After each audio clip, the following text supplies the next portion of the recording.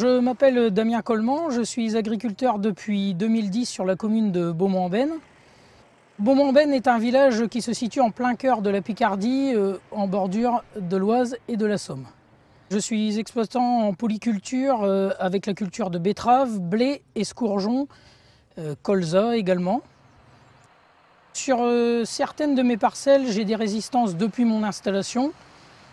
Pour contrer ce problème, éviter qu'il se propage sur les autres parcelles, nous avons étendu euh, sur toute l'exploitation l'utilisation de l'Avadex, dès que ça pouvait être possible sur la culture, pour éviter toute propagation de résistance et diversifier euh, les matières actives employées.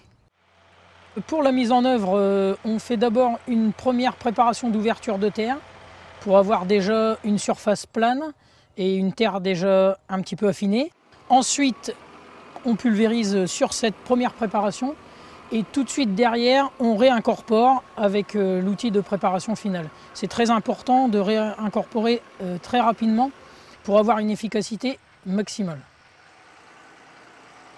Nous, on se situe entre 5 à 7 cm, euh, plutôt là, peut-être 7 cm quand on prépare en deux fois. Il ne faut pas aller au-delà, après le produit se retrouve beaucoup trop dilué. Ça fait plus de 5 ans euh, largement que j'utilise ce procédé en betterave.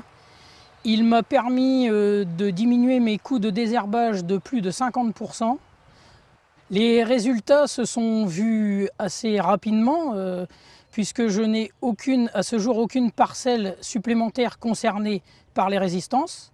Et les premières parcelles où j'avais des problèmes, ça s'améliore nettement par cette diversification et cet emploi d'Avadex. Et ça m'a permis donc euh, vraiment de limiter mes coûts et de n'avoir aucun problème euh, en désherbage, même sur les cultures suivantes, notamment de blé.